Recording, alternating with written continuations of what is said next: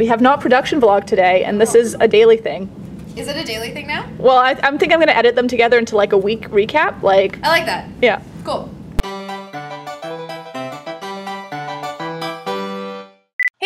The disembodied voice of Sarah here speaking quickly over B-roll footage to let you know that production vlogs are a thing again!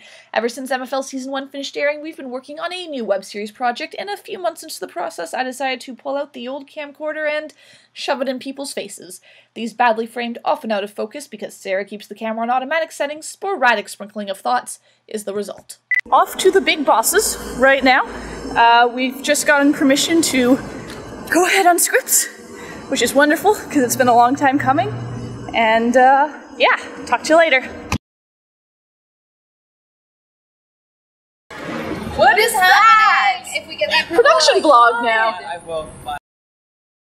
It's Hi, Bob. But, so yeah, and What so, are you doing? like, Production if, vlogging. If they let us Tell me about scripts. forward or like Scripts dates, exist. Um, I'm gonna get in contact with the law. Miller's in Yeah. them. So hopefully we're looking at It's a thing. to the law. Greg will get back to me today.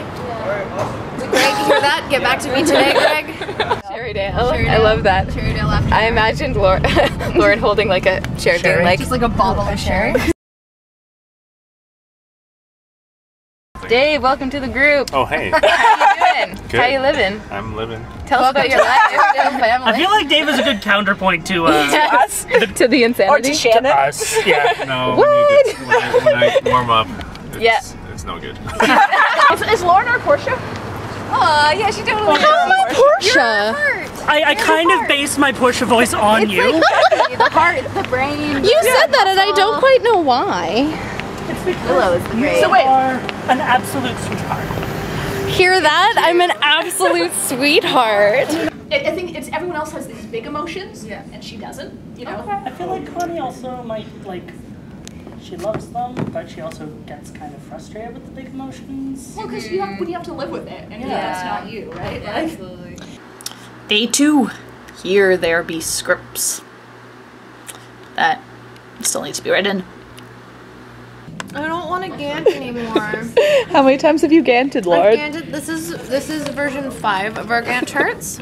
so you've got every single item that needs to be completed in order to uh, accomplish production along this line, and then you have your like dates along this line. If you scroll down, oh shit! So many You- blue lines. So uh, you fill in the space for the blue lines so that you can watch it um, unfold.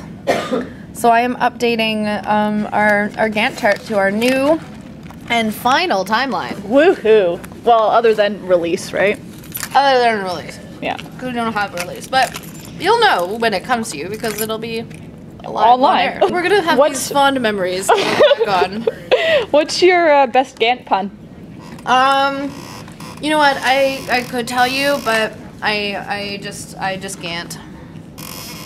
Just Gantt. I just can't. It's almost 2 a.m. I'm about to give RJ Lackie, our other writer, a call to do a script read through.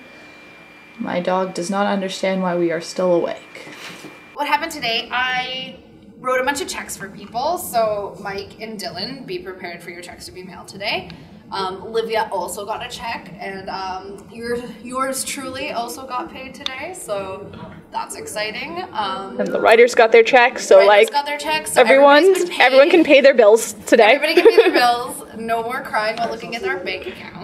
The Gantt that I was working on yesterday has now been approved. I've been letting our crew know mostly. Um, some of our crew, our key crew. Everybody on the team is key, but These are just the people that the, the fund considers. key people. These are the people who we need to get approval for. Everyone Yeah, else so we can let, be we like, let them know about the uh, the production change. That's that's where we're at today. I'm gonna go home and fix up the cash flow. yeah. That's what I'm gonna do tonight, and then uh, tomorrow is contact cast and location hunting, hmm. which is my favorite activity. Oh, and protein powder. That was the Oh, other exciting and thing protein today. Powder. My other thing is I got this I got this fancy protein thing. Here, I'm gonna I'm gonna show you the whole. the Oh whole my gosh. kit. All right. I'll-